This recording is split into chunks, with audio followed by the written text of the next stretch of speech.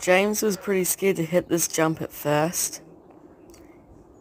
He took a couple run-ups. And he finally did it. Yeah!